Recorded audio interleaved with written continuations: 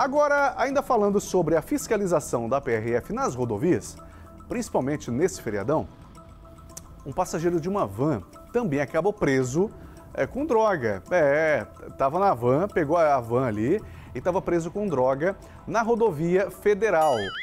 É, mas quanto que estava de droga com ele? É, 13,6 quilos de maconha. Um pouquinho mais que 13 quilos e meio. Tadinha das bananeiras. É, depenar as bananeiras. Gente, cadê o pessoal do meio ambiente? Vamos cuidar das nossas bananeiras. É, é, mu é muita folha de bananeira, amigo. 221 quilos. Agora 13 quilos de maconha. É muita maconha. É muito cigarrinho de satanás. Na noite dessa quinta-feira, é, em Água Clara, os policiais rodoviários federais fiscalizavam a BR-262 quando abordaram uma van que fazia a linha Campo Grande a Três Lagoas. Durante a fiscalização no veículo, os policiais localizaram um volume contendo uma substância semelhante à maconha.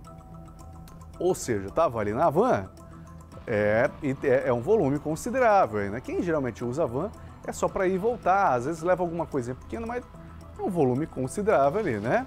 É, é, é, é muita rapadura, né? É. Aí, aí, aí, foi pro Chilindró. Não teve jeito, né? Ao ser questionado, um passageiro de 22 anos, proprietário da bolsa, afirmou que tratava-se de maconha e que sim, ele estava transportando maconha e ia receber quinhentão para transportar o entorpecente até a cidade de Três Lagoas. O preso e a droga foram encaminhados à polícia de Água Clara. Se tivesse aqui em Três Lagoas, se tivesse aqui em Três Lagoas, para ganhar quinhentão, era só comprar nas empresas parceiras da promoção, só anda para quem quer, né?